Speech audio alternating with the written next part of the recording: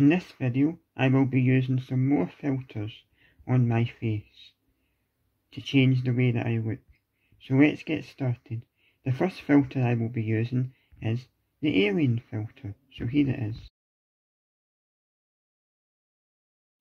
The next filter I am going to use is the filter that will make me look like a lion. So here it is.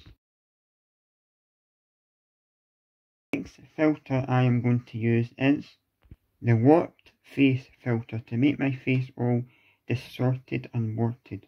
So here it is.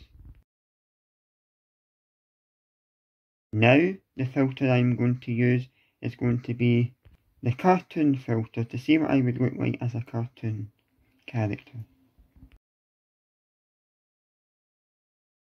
Uh, now I am going to use the bear filter to see what I would look like as a bear.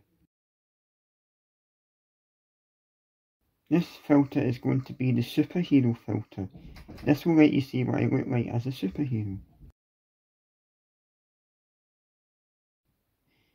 I hope you have enjoyed this video. There will be more next time. Put down in the comments what your favourite filter was I used in this video.